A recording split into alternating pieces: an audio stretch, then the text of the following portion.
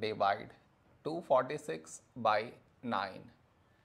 To do this division, we should frame it in this way. 246 here, 9 here. This is your step 1.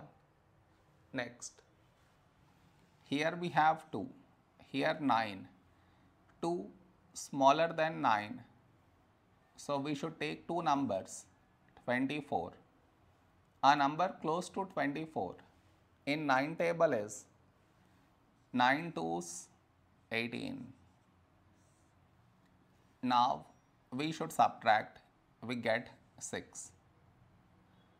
After this bring down the beside number so 6 down so 66.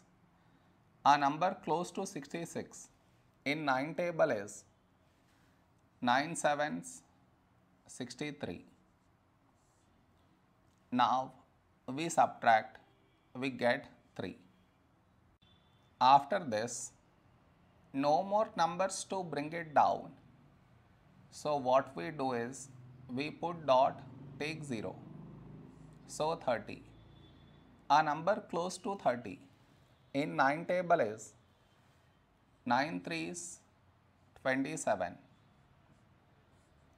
Now we subtract, we get 3. Now you observe, here we had 3 and we got 3 again. That means this number keep on repeating. So this is our quotient